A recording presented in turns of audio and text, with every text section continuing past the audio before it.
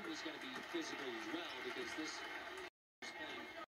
Shot around there making those threes, uh, but it's uh, this is an every trip intense kind of a game. And that's what, what happens when it comes to this level and obviously in your league tournament, league season, I should say. Tyger Campbell on the deck again to keep it alive. UCLA hoping for a miracle at this point. Riley gives him a lift with the reverse.